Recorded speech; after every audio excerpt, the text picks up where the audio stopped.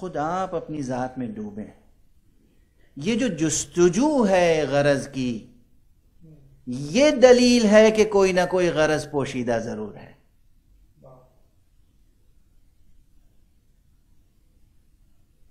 یہ جو جستجو ہے، میرے وجود کا مقصد کیا ہے؟ یہ سوال ہی کیوں پیدا ہوا؟ اسی لیے پیدا ہوا کہ ایک مقصد ہے۔ یعنی وجدانن فطری طور پر ہمیں احساس ہے، ادراک ہے کہ کوئی مقصد ہے، ہم بے مقصد نہیں ہیں۔ اب وہ مقصد سمجھ میں نہیں آ رہا ہے تو ہم جستجو کر رہے ہیں۔ اگر ہم خود اپنی عقل پہ زور دیں تو ہم اس مقصد تک پہنچ سکتے ہیں اور جہاں عقل تھکنے لگتی ہے، وہاں وہی آ کے اسے سہارا دینے لگتی ہے۔ وہی کا کام ہی ہے عقل کو سہارا دینا۔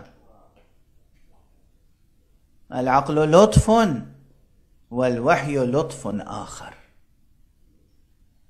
عقل کا کام ہے وہی کا کام ہے عقل کو سہارا دینا۔